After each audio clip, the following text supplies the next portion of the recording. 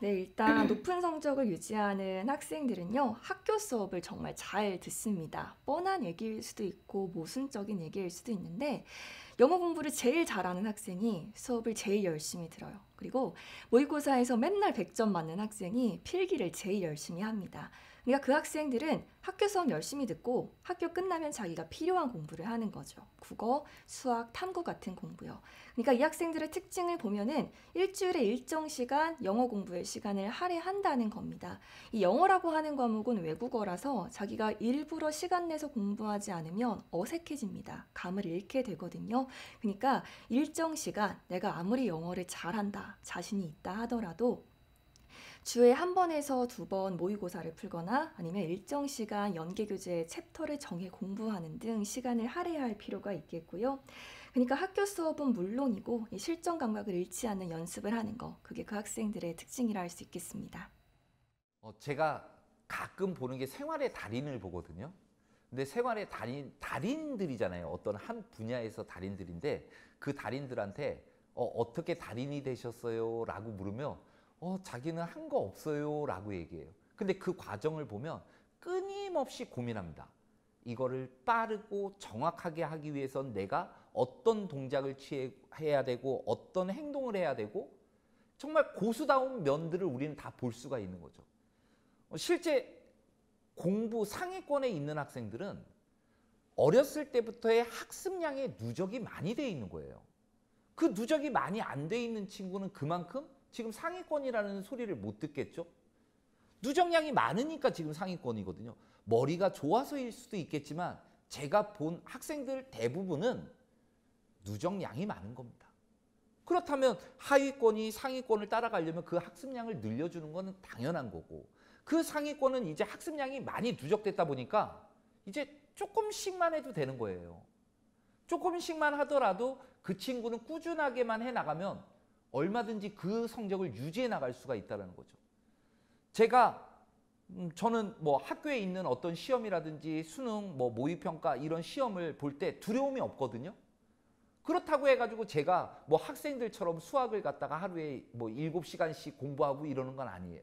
하지만 저도 끊임없이 문제는 풉니다. 제가 1년에 젊었을 때는 정말 더 많은 문제집을 풀었는데 요즘은 체력이 딸려서 안 되더라고요. 그래도 제가 1년을 지나고 나면 제가 풀었던 문제집들을 정리를 해가지고 이제 한 해 한 해 정리를 하잖아요. 보통 보면 10권은 넘어가더라고요. 근데 저 그 10권을 뭐 일주일에 한 권씩 풀고 이러지 않아요. 그냥 꾸준하게 푸는 거죠. 그렇지 않으면 저도 감을 잃을 수밖에 없어요. 그래서 상위권 학생들이 그 성적을 유지하려면 그냥 듬성듬성의 공부는 안 됩니다. 필 받았다고 하루 공부하고 이틀 쉬고 하루 공부하고 이틀 쉬고 총량을 맞추려고 하지 말고 그 총량을 나누기 n 해서 균등한 학습 시간을 유지해 나간다면 상위권의 그 자리는 결코 놓치지 않을 거라는 생각이 듭니다. 상위권 학생들은 공통점은 사실 여러 가지들이 나타나요. 근데 그 중에서 가장 강력한 공통점은 뭐냐면 이들은 공부하려고 하는 의지가 강력하다라는 거예요. 더불어서 이 공부하려고 하는 의지가 강력해질 수밖에 없는 이유가 뭐냐면 그리고 그 그렇게 결과가 나오는 이유가 뭐냐면 자기가 자기 스스로 공부하는 시간이 픽스되어 있어요. 대부분의 학생들이. 그러니까 상위권이라고 이야기를 하는 대부분의 학생들은 자기가 공 자기가 공부하는 시간이 픽스가 되어져 있습니다. 그러니까 인강을 듣던 수업을 듣던 학원을 가던 그 시간은 어, 상위권 학생들에게 있어서는 변수가 아니에요. 그 다른 말로 하면 어, 상위권 학생들 가운데에서는 어, 인강을 듣고 학원을 가는 학생, 사교육을 하고 뭐 이런 것들을 하는 학생들도 있고 안 하는 학생들도 있어요. 그러니까 그 학원, 학원을 가고 인강을 듣던 안 듣던 그건 변수가 아니라는 거죠. 그건 다닐 수도 있고 안 다닐 수도 있는 거예요. 그러니까 상위권은 모두 다 학원을 다니고 상위권은 모두 다 어, 엄청난 사교육을 받고 말도 안 되는 소리라는 거죠. 그러니까 상위권 학생들의 포커스는 학원을 가든 안 가든 인강을 듣든 안 듣든 그게 중요한 것이 아니라 그거 자기가 들은 인강, 자기가 다닌 학원, 자기가 들은 수업을 자기 스스로 소화할 수 있는 시간을 갖고 있는 학생들이에요. 그 학생들은 무조건 현행을 잘할 수밖에 없습니다. 공부하는 패턴으로 말 이야기를 드리면 이렇게 되겠죠. 상위권 학생들의 공부 패턴은 30분 예습, 1시간 수업, 인강, 학원. 그러니까 30분은 예습, 그리고 1시간의 수업을 듣고 2시간 이상의 복습을 하게 됩니다. 이게 상위권 학생들의 공통적인 패턴이에요. 그러니까 내가 수업을 들은 것은 공부라고 생각하지 않습니다. 자기가 이 문제를 어떻게 설명할 수 있는지, 이 문제를 어떻게 풀어낼 수 있는지, 그러면 이 문제를 다른 형태로 바꾼다면 어떻게 나타날 수 있는지를 고민하는 학생들이에요. 그게 2시간, 3시간이 필요한 부분이거든요. 그러니까 그 부분에 대해서 이해를 해야만 제대로 된 공부를 할 수 있다는 거죠. 포커스는 나의 공부 시간, 내가 이 개념을 이해하기 위해서 들인 시간이 많다라는 거예요. 어, 주요 대학을 진학한 학생들과 일반적인 일반 학생들의 공부 시간을 비, 교해 보면 사실 공부 시간 자체는 크게 차이가 나지는 않습니다. 근데 어디에서 차이가 나냐면 혼자 공부한 시간에서는 아주 큰 차이가 납니다.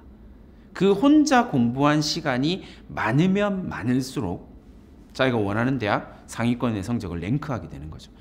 이 혼자 공부한 시간이 가장 극명하게 차이가 나는 때가 언제냐면 바로 방학이에요. 방학에는 일반 대학을 지나가는 학생들은 공통적으로 공부량이 확 줄어듭니다. 반면에 주요 대학을 진학하고 상위권의 성적을 랭크하고 있는 학생들은 방학 때 오히려 공부량이 좀 늘어나게 됩니다. 일관되고 지속된 공부를 한다라고 하는 공통점이 있지만 이 일관되고 지속되는 공부가 어, 정말 명확하게 드러나는 시점이 바로 방학이다라고 생각을 하면 되게 단순한 거죠. 어, 시험 기간에 대부분의 학생들은 공부를 합니다. 그러니까 시험 기간에 대부분의 학생들은 최선을 다해서 공부를 합니다. 한 절반 이상의 학생들은 어, 공부를 합니다. 그러니까 다른 말로 하면 시험 기간에 최선을 다해서 공부를 한 건 중상위권 이상의 모든 학생들이 그런 형태를 보이기 때문에 이 시간은 어, 성적을 올리는 시간이 아니에요. 그러니까 성적을 올리는 시간은 결국 어, 다른 학생들이 공부하지 않는 시간이거든요. 근데 이 다른 학생들이 공부하지 않는 시간에 이 학생들은 공부를 선택하는 거죠.